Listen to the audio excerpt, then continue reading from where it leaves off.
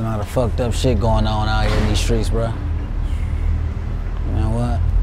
You know, no morals or principles, you know, going against the grain, breaking all the rules. You know what I mean? Doing anything to get in position just for some money.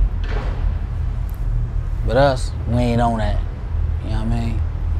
And the main thing that we'll never ever do is go against the family. Never go against the family. Feel